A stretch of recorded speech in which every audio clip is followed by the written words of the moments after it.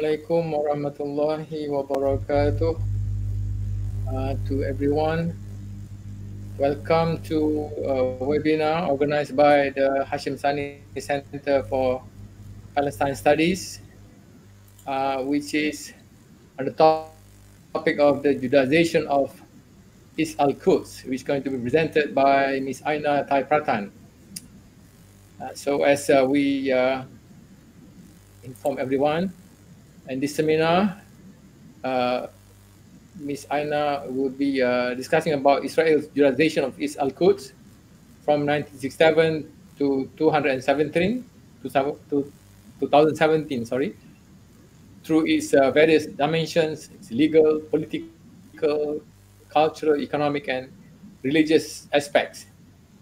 And as we know, um, uh, Israel um, invaded West Bank in 1967, and uh, being a settler colonized colonizing project is trying to get rid of uh, Palestinian indigenous Palestinian population, and and the process includes uh, Judaization of uh, the whole um, land of Palestine. And um, Ms. Aina says uh, she we're talking about how the Judaization policy will be based on territorial expansions and expansionism and native minimization, meaning they want to make sure that the number of Palestinian indigenous population would be minimized as much as possible, and many have been expelled from their from their own land. But um, apparently, the the Judaization policy is being constrained by differences between Israeli political parties and as well as the international repercussions. So uh, Ms. Aina is the best person to talk about this because she has done a lot of research on this, and she is uh, a Thai national uh, and uh, a PhD candidate at the Center for West Asian Studies at the School of International Studies, Jawaharlal, Jawaharlal Nehru University in New Delhi, India. Welcome to our webinar, Ms. Aina. Thank you very much for your kind willingness to talk to us and explain to us about this very important topic. And without further ado, uh, I give the floor to you. Uh, go ahead and make your presentation. Uh, warahmatullahi wabarakatuh. Uh, very good evening to all the audience uh, from Malaysia especially, and I hope there are also some Thai watching this, and also maybe other countries. Yeah, and thank you so much, Professor Nazari and uh, Hashim Sani Center for Palestine Studies for inviting me uh, to speak on the topic of Judaization of East Al-Quds. So Al-Quds, I think I should explain what Al-Quds means first, right? Al-Quds means uh, Jerusalem. It's an Arabic word. So I will be talking about East Al-Quds. So it's only East Jerusalem. So um, I will cover around 50 years of occupation, which is from 1967 to 2017. And this is like part of my uh, PhD thesis. So I'm presenting part of it here. It's all of you. And so if we see uh, the case of uh, East Jerusalem, right? Um, there are two parts of uh, East Jerusalem. Uh, there are two parts of Jerusalem, sorry. There is West Jerusalem and East Jerusalem. So um, in 1967, East Jerusalem was annexed by Israel, right? So if we compare uh, East Jerusalem to West Bank and Gaza Strip, right? We hear a lot about uh, West Bank and Gaza Strip, right? About the violence, right? But in uh, East Jerusalem, there is a lesser degree of violence, but there is more with legal violence, which I will be presenting today. So I use the word Judaization here, right? Uh, so what does it mean, Judaization? So Judaization in this context, it means to make things Jewish. Like it's for the case of East Jerusalem, it means to change the character of uh, Jerusalem to be Jewish. This includes all aspects, demography, territorial, cultural, religious, economic, right? And in my thesis, I use settler colonialism, right? And I find that Judaization is like another name for uh, settler colonialism. It's like the Zionist version of settler colonialism. But in this presentation, I will use both the word Judaization. Why they, uh, in order to Judaize, they have to de-Arabize, right? So I will explain further, like uh, in later in my uh, presentation, what it means. So, so in this uh, seminar, I will discuss the legal, political, economic, cultural, and religious dimension of Judaization. So uh, before we uh, talk about uh, Jerusalem or we talk about East Jerusalem in this uh, like in this seminar, right? Actually, like history is very important in order to understand why uh, the Zionists uh, claim Jerusalem, right? So um, Zionists claim like there are many claim there are many Zionist claim like the Jewish exile, right? That Jews like were exiled from Jerusalem. That Jerusalem was Jewish homeland. That uh, Jerusalem was the uh, existence of the Jewish kingdom in the past. In the past, right? So these are like uh, these are not invented by Zionists. These are Jewish beliefs, right? We have to understand this. Actually, we have to uh, actually uh, make a separation or make a distinguish between Zionists and Jew, right? Not all Jews are Zionists. So the Jewish exile, uh, the Jewish homeland, and the existence of Jewish kingdom in the past, these are all Jewish beliefs. But Zionists use this, Zionists use the religious beliefs of the Jews to justify their claim of Jerusalem.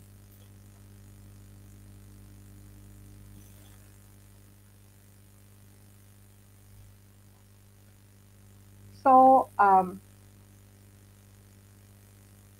so like uh, if we compare uh, Israel to other settler colonies, right? Uh, I will just give you example of other settler, settler colonies like uh, New Zealand, uh, America, Australia. These were all settler colonies, but no one claimed that they were there before.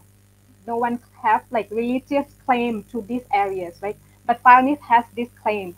So among all the settler colonies, Zionists has the strongest claim to the land. And if we see the interaction of Jew with Jerusalem, it has been like since 1200 BC, right? Until now, like Jews have always been part of Jerusalem. And Jews are under different empires.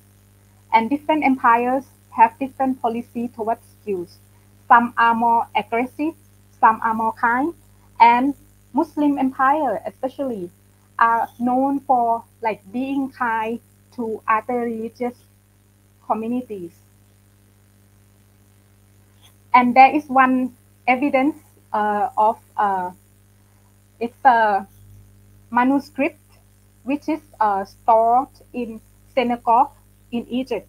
This is called Cairo Genizah. So Cairo Genizah is uh, it's a manuscript of a flourishing culture between Jews and Muslims. So in this uh, manuscript, it was even documented that Umar ibn al-Khattab once invited Jews to Jerusalem. So this, if you can see in the slide, this is a manuscript uh, called the, in the Cairo Genizah. It's written in Arabic, it's written in Aramaic, it's written in Hebrew, and these are written by Jews. So this mentioned the flourishing culture between Jews and Muslims in the past, right? And it's not only Umar al-Khattab that invited Jews to come to Jerusalem. Salahuddin al-Ayyubi, uh, Sultan Sulaiman of the Ottoman. So I just wanted to say that Jerusalem has always been a pluralistic city. It's a place where Jews, Muslims, Christians used to live together. I mean, there was to some extent peaceful coexistence at least for a thousand years, and this is well documented, right, in history if study it. So, but this began to change, right? When uh, with, with the advent of Zionism and Jews began to come to Jerusalem and Palestinians welcomed them. They did not know that they came to take their land. They just accepted them as they have accepted them before. But then this changed after 1948, right? And a lot of uh, scholars have called it as settler colonialism. The peaceful coexistence that existed existed in the past now become a form of colonialism. Jews no longer came to Jerusalem to settle. They came to settle and to replace the Palestinians who have lived here. And one more thing, there are also Palestinian Jews who are call themselves as Arabs. They are Arab Jews. They are not European Jews and they also live with the Palestinian and they have lived with the Palestinian for a long time. They also exist in Jerusalem now. So before we go to the uh, about the dimensions that I was mentioning that I will be discussing today. So we have to discuss what happened in 1967, right, when Israel occupied uh, Palestinian territories no Israel political parties have objection over the occupation of OPT. Everyone, all the parties agree that we would occupy all the uh, Palestinian territories, which are West Bank, Gaza Strip, and East Jerusalem. And all the political parties made it very clear that with East Jerusalem, they will annex it. So so East Jerusalem, Israel used Israeli civil laws to govern the Palestinians who are in East Jerusalem, right? But with the West Bank and Gaza Strip, Israel used the military laws. So these are the differences between the two Palestinian communities, right? The uh, they are given different guards, right? Palestinian in East Jerusalem are given blue guards, and Palestinians in uh, West Bank and Gaza Strip are given green card. So we will come now to the uh,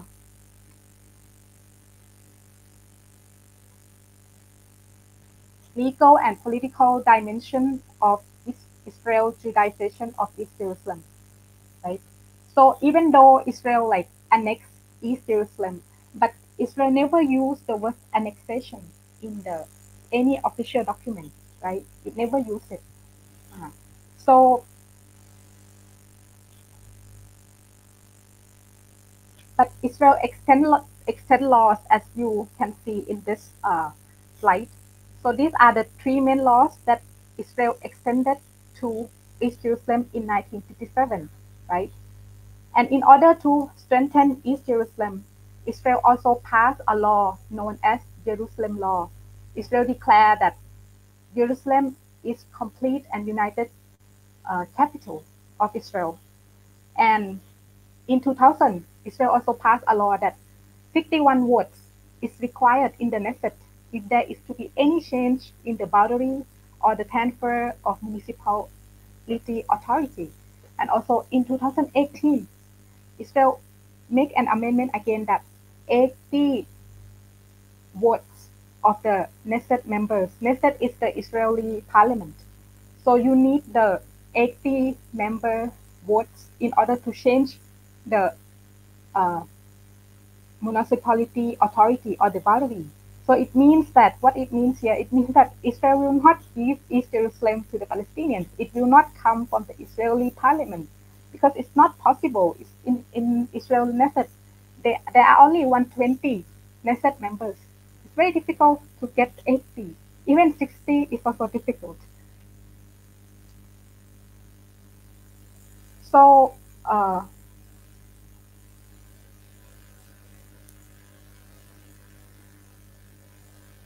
so this is how like Israel used uh, Israel Judaize uh, Jerusalem by uh, territorial to territorial territorial expansion, right? So I think the map is very small, but if you can see the red uh, line that is circling this, yeah, this is Israel uh, vision of Greater Jerusalem. So as I showed in the previous slide, Jerusalem is East Jerusalem is very small, right? It's only this area, but now Israel plans to like uh, extend the borders of Jerusalem municipality. So by extending the border, what does it mean? It means that Israel will take more West Bank land to be part of East Jerusalem, right? And we will not know this. It's carefully done by building the separation barrier to include all this West Bank land to East Jerusalem.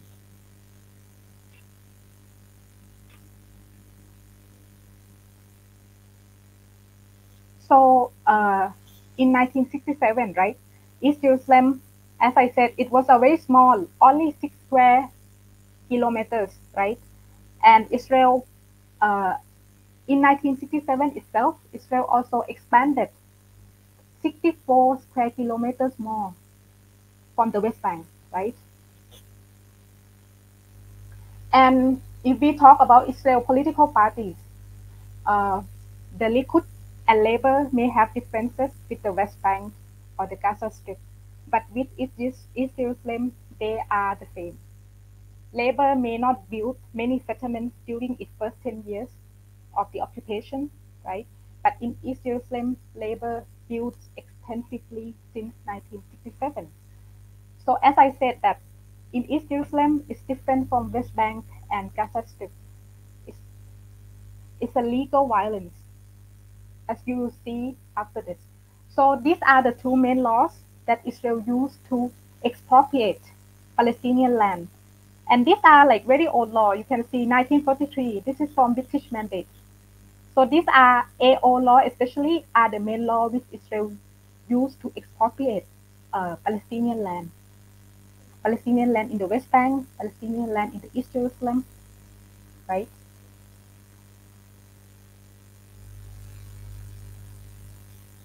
So like in many countries, like every country has expropriation law, which government will take like land for public purposes, right? And then they will compensate you for that, right? But in the case of East Jerusalem, Palestinians are compensated very little and the land are not used for public purposes. It used to build settlements, right? So th that were the two main laws, but there are two, there are more laws, as you can see. Absentee, absentee property law. What what is this uh, law? This law means that if Palestinians, the owner of uh, the land, are not present in East Jerusalem, they might be deemed absentee. So Israel said that then we can take your land, right? And then uh, the three laws here that you see below, uh, these are laws that allow Jews who lost their land in 1948 to claim back their land in East Jerusalem. So I will just give you a little bit of pretext here. So uh, before 1948, in Jerusalem, there are uh, East and West Jerusalem, right? So there are Palestinians and Jews in both the parts. So when it got divided, right, those Jews who are in east part, eastern part, they have to migrate migrate to the western part, and Palestinians also migrated. Some to from the west uh, Jerusalem, some migrated to East Jerusalem, some migrated to West Bank, Gaza Strip. So you can see that some Palestinians say that they are refugees in Gaza Strip, they are refugees in East Jerusalem, they are refugees in West Bank, right? So, so these laws allow Jews to claim back uh, the land in East Jerusalem. And there are cases, there are a lot of cases about this. And these are not the original owner. They just say that these belong to you and we have a rightful uh, ownership of it. If you, uh, I think all of us hear about Muhammad Al-Kurd family, right? So his case is in Sheikh Jarrah we hear, we hear a lot about Sheikh Jarrah campaign last two years, right? So his case is exactly this. His house, so his grandmother, he, she just died like two, three years back. She died at 102 years old. So she has a long struggle with the Zionists. So, um, so she was in Haifa. She was born in Haifa and 1948, she left Haifa and she moved to East Jerusalem. She, I mean, she migrated to East Jerusalem as a refugee she has to flee Haifa to East Jerusalem. And she was granted land under UNRWA, which is a UN uh, agency that deals with Palestinian refugees, right? And then, so from that land that she was granted, she built house, right? And now, after 1967, when Israel occupied uh, Palestinian territories, right? So Jews began to claim the land through this law. They did not claim like uh, baselessly. They claim it through laws. They fight it through courts, right? So, so she has been fighting throughout her life to protect her house. And she said one statement that if you want to take this land, let me go back to Haifa. I will not give you this land, but if only if you allow me to go back to Haifa. So they fought a long uh, fight with the court, and now and it ended up that their house got divided between settlers and their family, and it's only a like a very thin wall between them and the settlers. If you heard about uh, Yaqub, Yaqub who like uh, if I don't steal your land, somebody else will steal it. So Yaqub also resided in Muhammad Al-Kurd family, and Yaqub is not the owner of this land. Yaqub is from America, and we heard that he speaks English. He spoke English to Muna Al-Kurd, which is a, sister of Muhammad Al-Kurd. So this is how like uh, Israeli Jews use laws to claim land. Apart from the the laws that you were mentioned, these are used by uh, a normal people to claim land. But apart from laws, right, uh, there is also a legal purchase. Israeli Jews also buy from Palestinians. So maybe it's a sad reality for Palestinians also about this thing that many Palestinians, not many, some Palestinians also sell land to Israeli Jews because they pay a huge amount of money, right? So, and and the uh, the Israeli Jews, the settlers, they say that this is a legal purchase because the law does not does not ban us to buy your land, right? It's legal, right? And it's not only this, like there are also Palestinian middlemen. So like some Palestinians, if they want to sell land, they will hire a broker as an agent to sell land for them, right? But then this broker, like, uh, they sell land to the Zionists. They collaborated with the Zionists and sell land to the Zionists. So, so a lot, so many land ended up in Zionists through this means.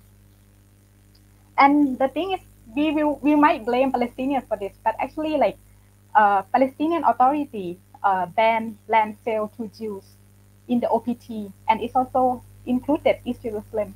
But since Palestinian Authority does not have any uh, authority over East Jerusalem, right? Because it's under Israel, so it cannot ban, uh, it cannot uh, prohibit Palestinian East Jerusalemites from selling land, right? But in Israel, there is a law that bans Israeli Jews from selling land to foreigners. So Israel can protect their land, but Palestinians cannot do it. And we know that in every country, right, we have a law that how much foreigners can buy land, right? If you don't put restriction, of course there will be people who violate it, and this is like very normal thing. So now we'll come to demography. Just now I talked how Israel Judaized Palestinian through territorial expansion, right? So now it will be demography. So how like in order to uh, Judaize, right? Israel will have to de-Arabize Palestinians. So in uh, 1972, uh, Golda Meir, which is a female Israeli prime minister, she declared very clearly that in East Jerusalem, we have to maintain the demography at 70-30, 70% Jews and 30% Palestinians. And they could maintain this until 1990s. In 1990s, the ratio started to drop. It started to be 60 40 60 percent Jews and 40 percent Palestinians. So in 2000, uh, according to the Jerusalem Master Plan, they realized that okay, let's change it. Now we'll we'll make it 60 40. So the first one is about permanency, uh, permanent residency status. So uh, this is very important that it's a, also a tool that Israel used to de-Arabize the uh, Palestinians. So the main discriminatory law uh, that is used in this regard is called the entry law. So Palestinians are granted permanent residency status under entry law. Entry means you enter Israel, right? But Palestinians, Jerusalemites, have been part of this land. They do not enter Jerusalem. So the entry law is not only used with Palestinian residents. It's also used with foreigners who came to Israel and they get permanent residency status. Palestinians are treated the same like those foreigners. So what does it mean? It means that permanent residency status can be revoked, right? If you do not fulfill conditions. And this is mentioned to laws and it does nowhere it mentioned about Palestinians in the laws. So you might have a question, if permanent residency status is too fragile, can Palestinians uh, apply for citizenship? There are options for Palestinians to apply for citizenship, right? But the conditions are very difficult for Palestinians to accept it. The first one, they have to be able to speak Hebrew. The second one is even more difficult because they have to play, pay allegiance to the state of Israel. So for many Palestinians, they cannot fulfill these conditions, even though that they know that permanent residency status is very difficult for them to be in this city. And and Israel knows that Palestinians will not take these conditions, right? So that's why it make it that way because it make it difficult so that Palestinians will not take it, and they kind of succeed with that. And even like uh, some Palestinians, they try to apply, right? They still did not get the citizenship status. So this also shows something here. And so it's not only this entry law. In 2003, this is another law. You can see that I'm discussing a series of laws that Israel used to Judaize uh, Palestinian, uh, to East Jerusalem. So another law is citizenship and entry into Israeli into Israel law. And this is a temporary provision. This was enacted in 2003. It was during Intifada. Israel like fear that uh, Palestinian might uh, sneak into Israel and carry suicide bombing and all, right? So this law, what does it mean? Like it bans spouses of Palestinian East Jerusalemites from receiving permanency, uh, permanent residency status. If they marry someone from the West Bank, they cannot uh, uh, the their spouse will not get the permanent residency status. If they want to live together, they have to go outside Israel, outside I mean outside East Jerusalem. And permanency res, permanent residency status is also denied to their children, right? So if you deny this even to children, it's very difficult for them. So they uh, Israel uh, authority even uh, prohibited or even like make it limited to whom Palestinian can marry, right? And I said that it was enacted during Intifada, right? But this law was extended for 20 years. So you cannot claim that this is about security anymore. And actually, like, uh, if you know, uh, two, three years back, if you remember the Prime Minister Ye- uh, Lapid from Yesh Atid party, he said like very clear, I will just quote him. We shouldn't hide the essence of the citizenship law.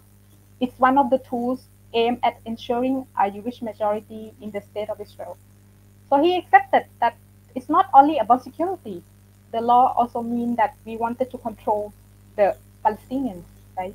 Because if you give permanent residency status to Palestinians, then who marry someone from the West Bank or uh, outside Israel, then the demography will increase, right? And also it's a way to de-Arabize them. Oh, if you want to marry them from the West Bank, those from the West Bank, then go out of East Jerusalem. And this is important. If they go out East Jerusalem, what will happen to them, which I will discuss later. So now we come with disenfranchisement. So uh, Palestinians uh, who live in East Jerusalem, East Jerusalem is under Jerusalem municipality, right? So as a permanent residency status, they can vote in municipal election, but they cannot vote in the national election because they are not citizens. So why is this important? Because municipality only deal with like basic welfare of residents like housing, education, but with laws like the, the laws that uh, were implemented discriminatory to Palestinians. Palestinians in East Jerusalem, they cannot voice their concerns in the municipal through the municipal uh, municipal channel, right? And they cannot do in the national election because they cannot vote. So they are disenfranchised in the Israel political system. But they have to abide all the laws that they don't have a say in those laws, right? So there, there is also a debate uh, in Palestinian community, even to vote for in the municipal election, right? Whether we should vote or not. It's not even useful. And by voting, does it mean that we are accepting the Israeli occupation? So it's a, a lot of dilemma that is going on in, in the Palestinian community. And now come the building permit.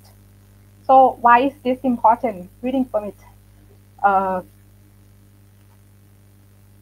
I, think in like in any country, not just Jerusalem, like we need to apply for building permit in order to build a house. Right? But for Palestinians, it's very difficult. In 1967, Israel stole like land, right? This is for uh, green area.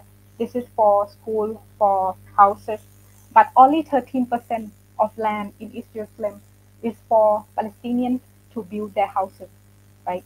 So and most has already been built up in this 13%, right?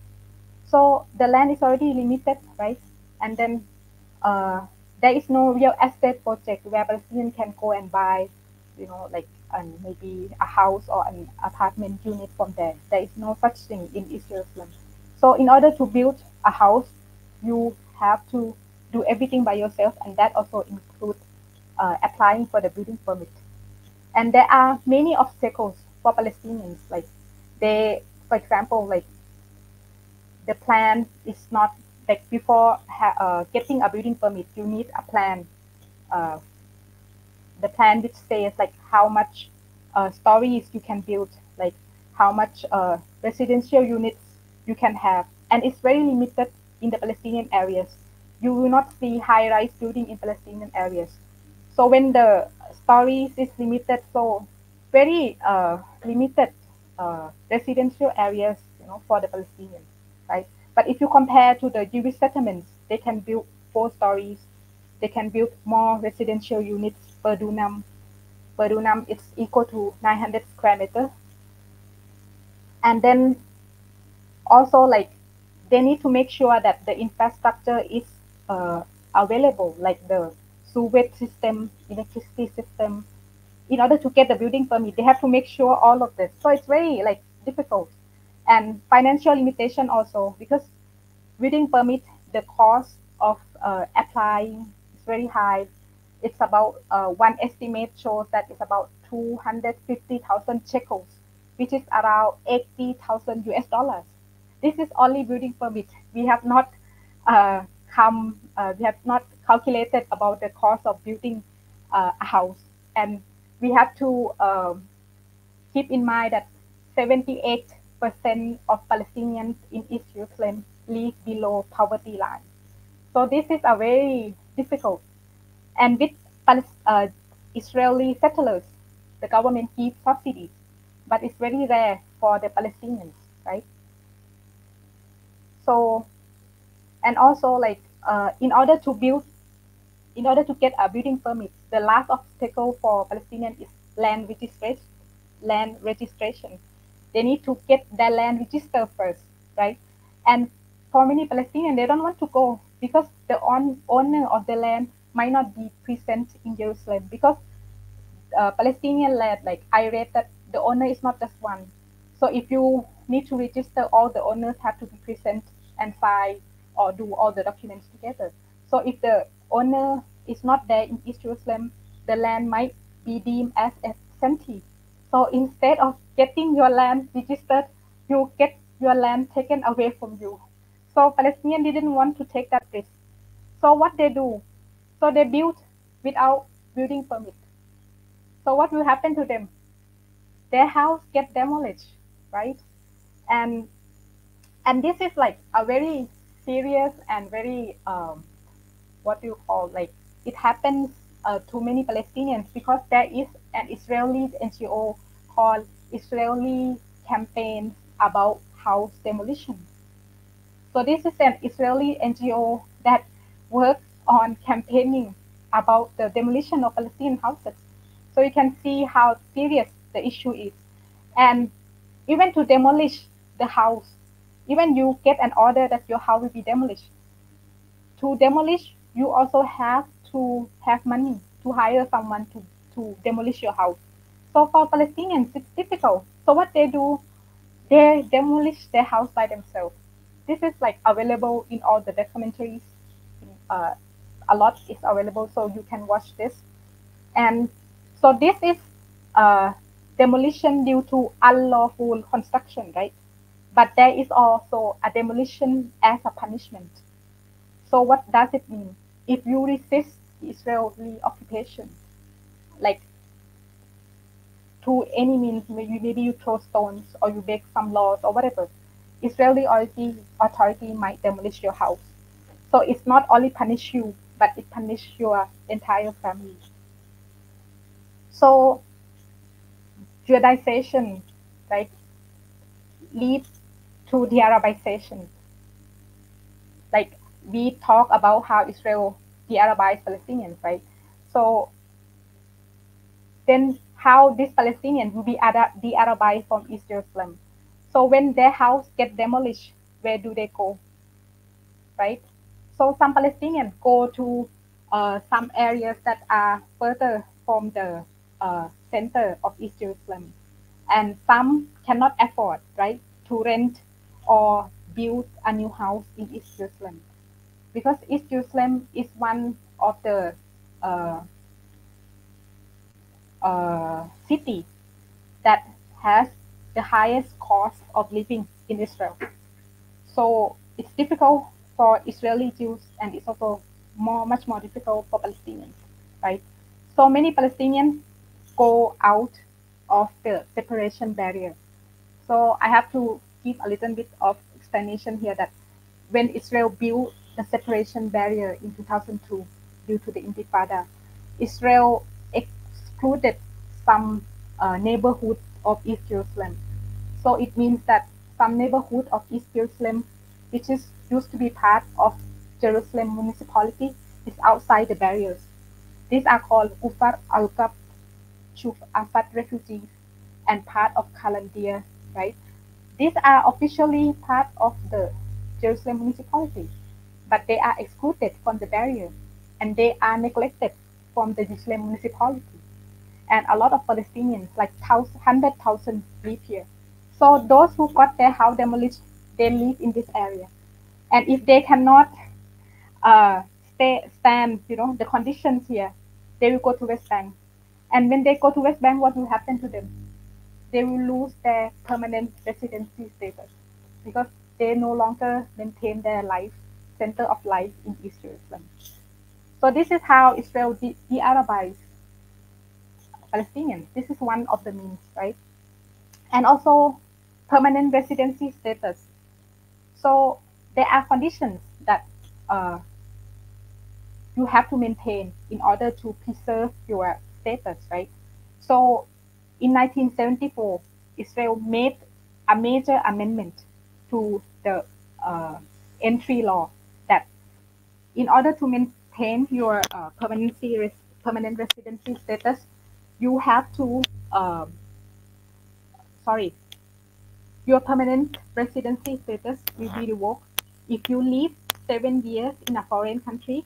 Second, if you receive permanent residency status uh, from other country. Third, if you receive a citizenship of a foreign country, right?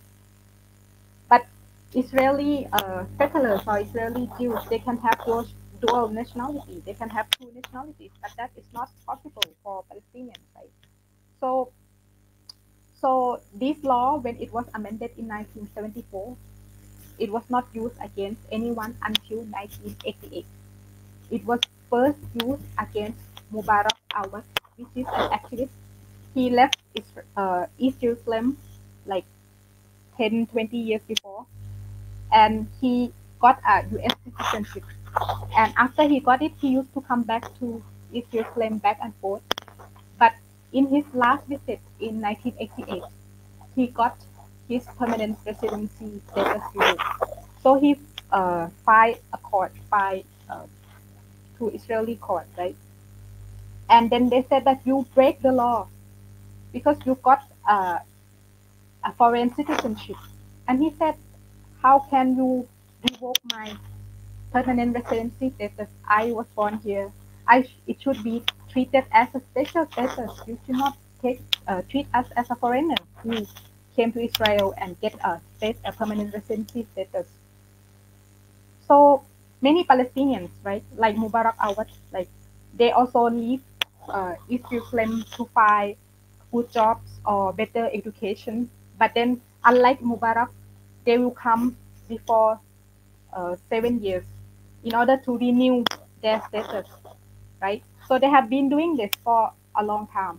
But then in 1995, Israel made some change this law again, like it changed the interpretation of the law. So from 1995 uh, to 2000, there were 3,303 revocation of permanent residency, uh, uh, permanent residence of uh, Palestinians, right?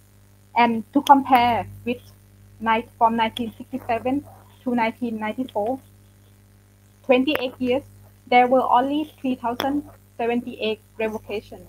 So in just five years, it's much more than uh, three decades, right?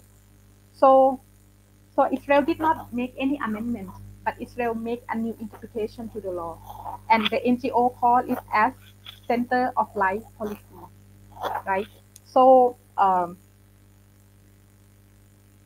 so this means that now it's very difficult for Palestinians. Even if they will come every seven years, they might got their residency status revoked because Israel will say that your center of life is not in Jerusalem, right? So how Israel will uh, know this, right? So Palestinians sometimes they have to go to the Israeli authority, sometimes for some office work or something like this. So before proceeding the um, the work, right? Israel will ask you like you have to put us your electricity bill. You have to show us your tax bill, right? So when they cannot show, right? So it's very like, oh, your center of life is not in Jerusalem. So your residency status will be right? And it's not sure how long they can be outside Jerusalem now. Because we don't know what Israel means by center of life policy, like center of life, right? So uh, the first one is uh, what right? That he was he got his permanent residency status. And the second one is center of life There is another one which is called disloyalty to Israel. So in 2018, Israel made an amendment to the entry law that if any Palestinian uh, make something that may deem as disloyalty to the state of Israel, their residency status revoked. And this is very controversial one because it can happen to any Palestinian Jerusalem, right?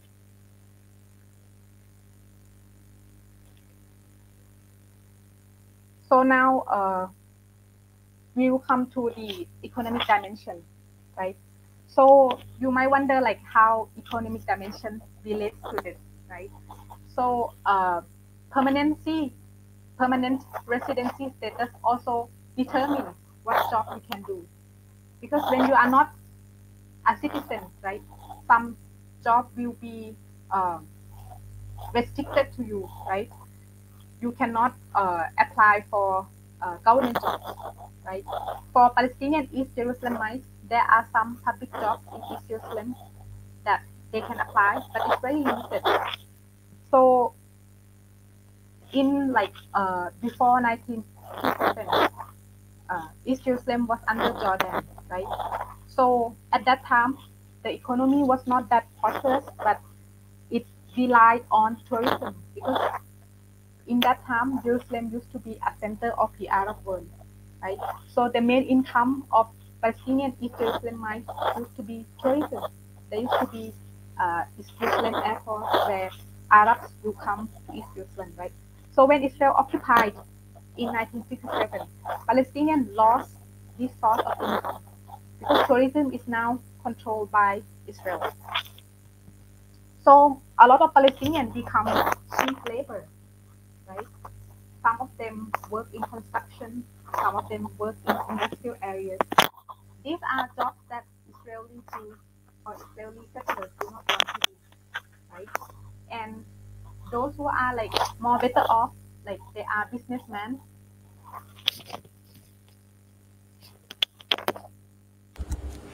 Palestinian businessmen also face a lot of obstacles because like tax policy is very high and there is also limited infrastructure in East Jerusalem as I mentioned. But for Israeli businessmen, there are subsidies, which is very rare, rare for uh, Palestinian businessmen. And then Palestinian East Jerusalemites cannot apply for public jobs, right? But then for some other jobs, like there are also conditions that you need to be able to speak Hebrew. You need to have Israeli school certificate. And a lot of Palestinians, they graduate from Palestinian schools, Palestinian universities, right? So it's very difficult for them. So you might think that if job is limited, if you do not get good education as you want, why don't you go abroad, right? Because it's phenomenon everywhere that people go abroad for better education, better career opportunities, right?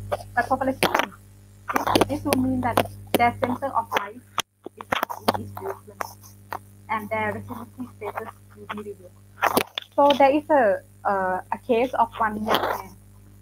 This is from one documentary. Like he's a son of a professor of An University.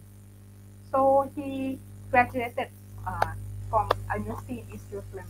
And then he told his father that he could no longer depend on him financially.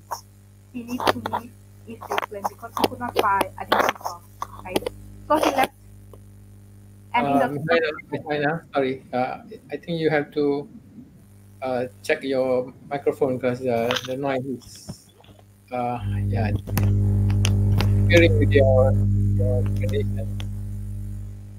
Okay, can you try again? Yeah. Hi. Can you hear now? Yeah, okay. So, so uh, the son of this professor, he left East Jerusalem and then uh, for a good job that he wanted, right? Because he could not no longer depend on his father. And then in the documentary, it shows that he came back as a tourist. His permanent residency status was revoked. So he came to visit his father very sadly. It was a documentary that shows the conversation between a father and a son. And his father says that this is a typical life of Palestinian youngsters who have to go to this reality.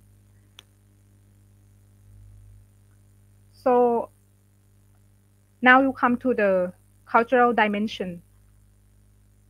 Uh, Israel like uh, did not ban Israel banned some cultural events that are organized by uh, Palestinians, right?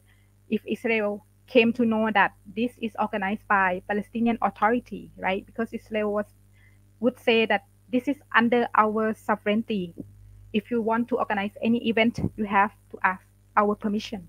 But there are also some cultural events that are not organized by Palestinian Authority, but Israel still banned them, right? So why Israel banned them? Because like for Palestinians, if they organize any cultural events, either films, musics, or any other events, they would also include the story about their life under occupation, their life under Israeli rule, right? So this is why Israel banned those events. So one uh, Palestinian says that if you just sing a song about life, like normal life, Israel would not say anything. But when you start talk about occupation, then they will try to stop you, So, so this is what happened to Palestinians. Even to preserve their culture, it's very difficult for them. And one of uh, one very obvious thing that happened with the Palestinian in East Jerusalem, it has to do with the Arabic language. Not to ban them from speaking Arabic language, but the Arabic language that is visible in the signs. So the most prominent one is that in the beginning, right, Israel used the word uh, Jerusalem in Hebrew, right? And then the word Al-Quds in Arabic would be put in parentheses, right? But now, if you see street in East Jerusalem, Israel will use the word Jerusalem in Hebrew, and then the Arabic name Al-Quds will be in uh, Arabic, but it's a transl transliteration of the Hebrew word. So Israel will write Jerusalem in Arabic. So Al-Quds is no longer there.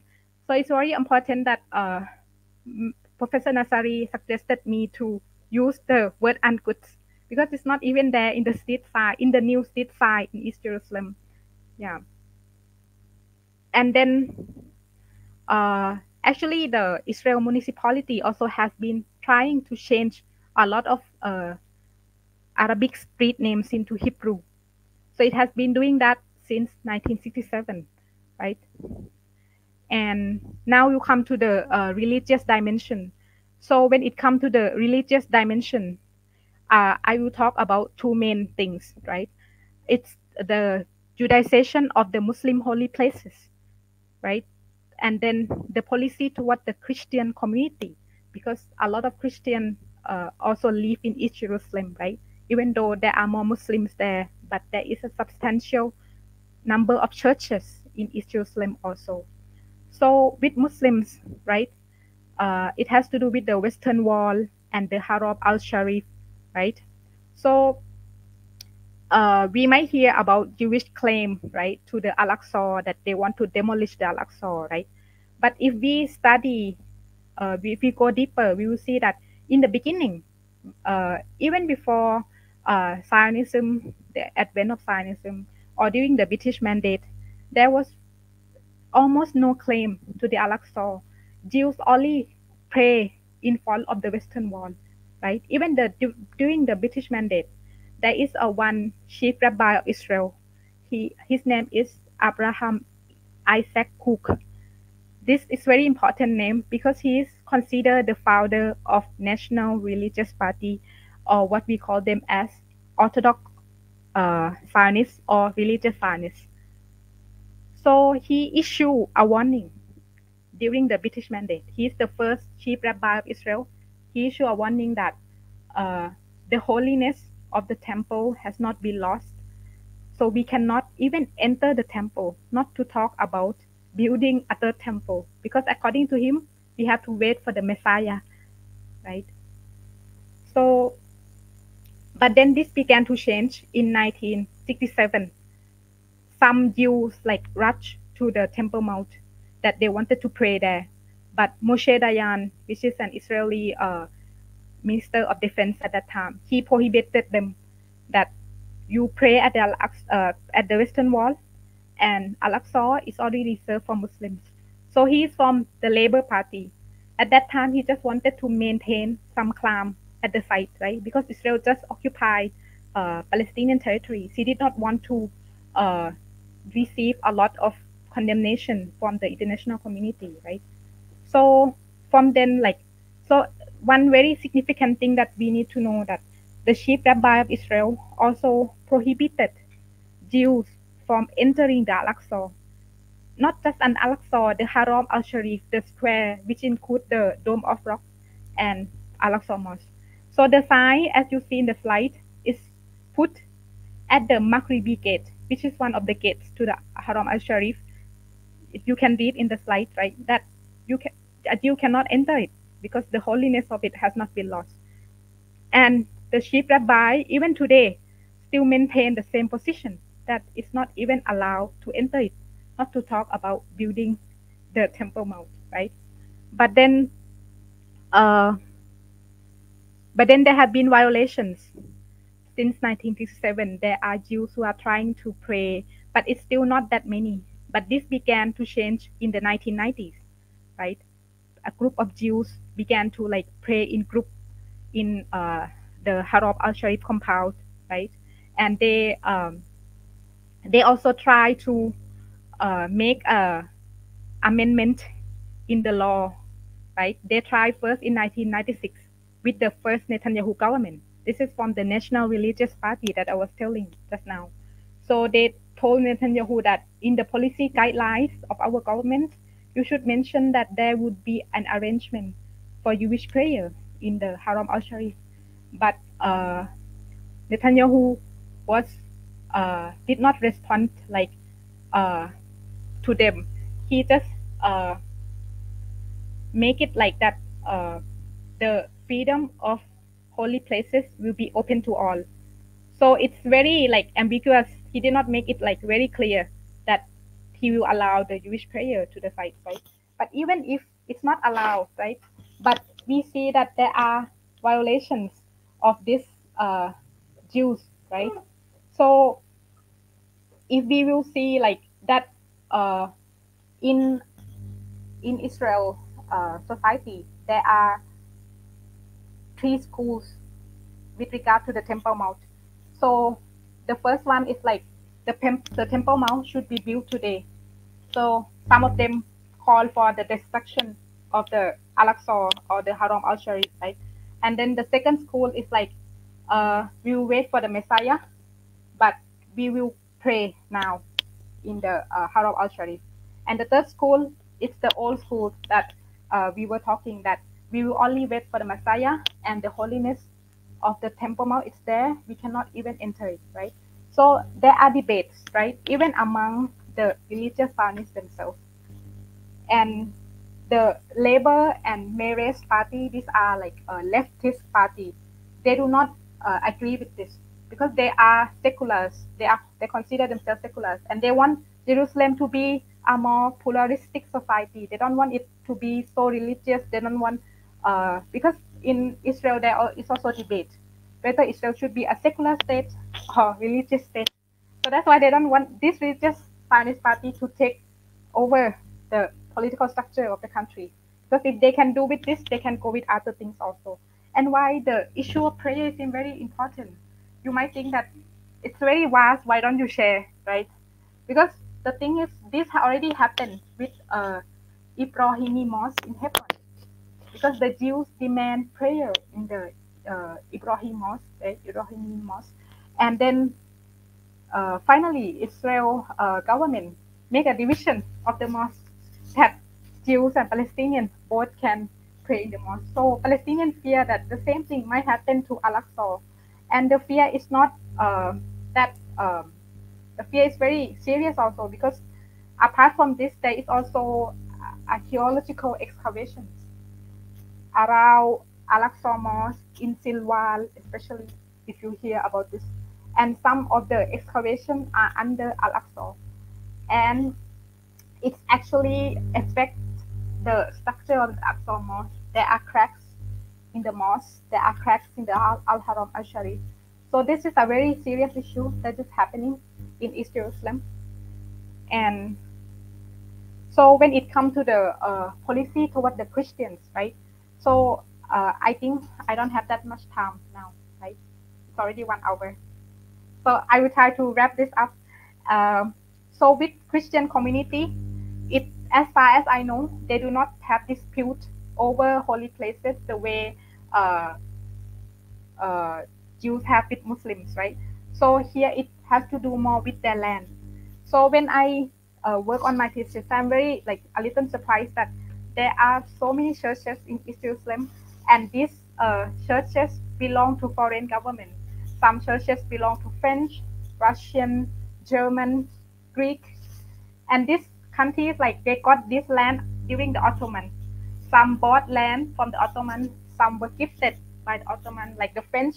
They helped Ottoman in the Crimean War, so they were gifted land by Ottoman, and they built church, and they still claim that this is our territory. So it's very complicated in East Jerusalem. But I will just talk about Greek Orthodox Church. Uh, this is a very important church authority because this church authority own a lot of land in East Jerusalem and also in Israel, the state of Israel now. So, so Israel tried to get land from this Greek Orthodox Church because it's more easy because the authority of the church is not Palestinian. These are Greek nationals, right? So you might have heard about the case of the firing of the uh, Greek patriarch, right? Because they sell land to uh, the Israeli settlers. They sell church land to Israeli settlers. And these are very strategic areas in East Jerusalem which they have sold. So, so far there are two patriarchs who have been fired by uh, the uh, Palestinian community, you can say Palestinian Christian community. So, and these are Greek, they are not Palestinian. So the attachment that they will have towards Israel will be different from Palestinians, right? So, um, and the the Greek, the authority of the patriarch is dominated by the Greek. Only two Palestinians are part of the decision-making uh, body. So it's very difficult for them to voice their uh, concern. So uh, we can talk about the history, but then um, uh, I need to end this that's why it's under Greek, right? Because the Ottoman uh, gave them the authority uh, after the con uh, the conquest of the Constantinople. So this was the history why the Greek have been the authority of the Orthodox Church. And the concern here is with the Palestinian Christians because they rent their land, the, the, the house they built, they rent, rent land from the church, right? because the concept of wakaf, the endowment, wakaf means endowment, right? So these lands are given by Christian pilgrims, right? So it belongs to everyone. It does not only belong to the church authority, right? So for Palestinian Christians, like they feel that their life is threatened because now a lot of land is being sold to Israel, right?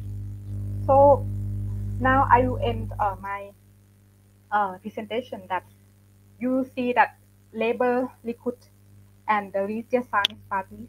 There are many parties of religious Zionist party. They are the same with the Judaization of East Jerusalem in terms of territorial, demography, economic, cultural, right? But with religious dimension, they are different? So this is why like they still cannot Judaize the Al-Aqsa or Judaize like East Jerusalem because even among themselves they have differences and also they also fear the internal, international repercussions that might come to the Israel government. Thank you very much for listening to my presentation. Thank you, thank you very much uh, for your very detailed presentation. Uh, we learned a lot about the process Judaization in its many dimensions and very enlightening, enlightening indeed. That's why I didn't want to stop you, even though you went all the way up to one hour. But I, can you um, in this uh, very short time left, can you yeah. elaborate a bit about uh, the international, uh, the fear or the worry of the Zionists towards how the international community perceive their Judaization policy, and and and therefore they they those they probably slow it down or they they do not go hundred percent to what they plan to do because of their worry about the international community's perception. Uh, but we see that what is happening in Gaza now, they don't seem to care anything about what the international community says. So, to what extent uh, do they worry about the international community? Do they really worry about, or can you give some example on on, on how uh, the the international community has has affected their policy of Judaization? Uh, in East Jerusalem, like I don't I I don't mean that they have slowed it down, but because they have differences in the uh, among the political parties, so it's very difficult for them to pass laws in the Israel Knesset. And the thing is that they did not slow it down, and also you can see the fractions that is happening in the Israel uh, among the Israel political parties that they like fail to form a government like many times. So also they also fail to pass a lot of laws because they wanted another one to like not be able to complete that term. So this is why like they are kind of slowing as we see, but it's not actually what they wanted to do. Yeah. Okay, so it's more of internal differences between themselves, right? So they don't. Uh, so it's not about uh, the, they are worried about the international community. Then it's of more. Course of they are worried. They are worried. So that's why they are showing that we do not really. Uh, we still give some space to the Palestinians, but secretly they also they are also doing many things. And when they say things, they say really like cleverly. No, they will not talk about all these things that we you know we have been uh, discussing in this seminar. They will not talk about the archaeological excavations. They will not talk about how they uh, the Palestinians. They will say these people break their laws, right? That we did not like uh, de-Arabize them. We did not like try to Judaize the city. They have to do it carefully because if they do it like in once, right? So of course, like they will be like uh, stopped by the Western government, they will stop by the US. So they have to do this. And they have been doing this. That's why they can do till now. They are trying to do like slowly, slowly. And now we can see that they have achieved a lot actually. And it's not stopped, it's increasing every day, every day. Yeah. All right. So uh, their, the strategy has always been to incrementally Judaize the, yes. Yes. the Quds. Uh, so by, by doing it incrementally, they have been able to achieve a lot over the over the decades that they have controlled Al-Quds. Uh, probably uh, uh, that is the reason why they are having trouble now because their incremental strategy has been disrupted by the October 7 uh, incidents mm-hmm. recently. Uh, they now they are doing everything right in front of everybody, and they are under pressure internally to do that because of uh, what happened in October 7. So the incremental strategy had to be abandoned because of the October 7. So that is an advantage of, uh, in a way, the benefit for the Palestinian struggle is to expose everything, all right? And uh, because otherwise, otherwise it would have been incremental and and uh, and soon the whole settler colonial project will be uh, will achieve its aim uh, and the Palestinians will lose their identity, lose their land completely, right? So uh, that so it's very important. Therefore, uh, your study is um, being made public. Uh, you publish your study not only uh, in academic journals but also in uh, popular publications like newspapers and magazines, so that people know what is happening over there in Al Quds. I think, right? And uh, Alhamdulillah, thank you very much for sharing your study, uh, your knowledge here, so that now people know what is happening over there. Hopefully, uh, uh people are watching this can encourage others to watch the. We have got recorded on our YouTube channel and also on our Facebook, and people can and listen to it again to understand what's happening over there. So thank you very much, uh, Ms. Aina. Thank you very much, and hopefully, uh, you but uh, progress and successfully get your PhD in the field of Al-Quds, right? Your, your general field Al-Quds study. Thank you very much. Assalamualaikum warahmatullahi wabarakatuh. Assalamualaikum